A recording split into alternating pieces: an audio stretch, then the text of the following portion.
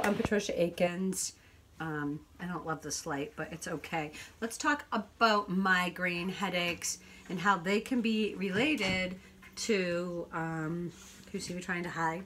How they can be related to um, grinding your teeth at night, okay, and your jaw. So a lot of the time, take it, if you have a, a migraine, right, feel for your cheekbones, your middle finger, come up, and come in where you kind of feel there's like this little round thing your finger actually fits into. It's almost like it's designed for that. I want you to go and push in and up and release and push in and up and release. Okay, do that like five times. Push in as much as you can handle. Push up towards the air, come back. Don't push down like this. It's up, release, up, release, up, release. Okay, I wish this would fix my face. Um, so then come down from that where it fits in, just come down. You'll feel that you'll feel a muscle.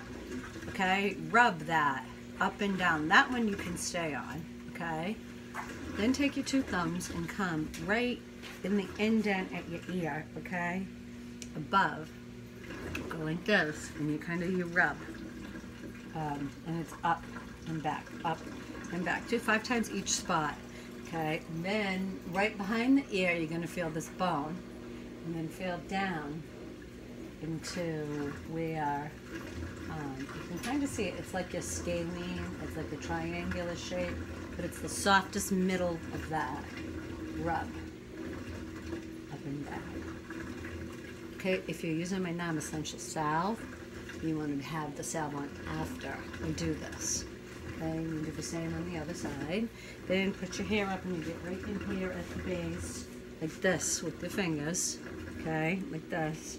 You can even lean and you just push up and push, get up under that bone and push up. Do five all the way around.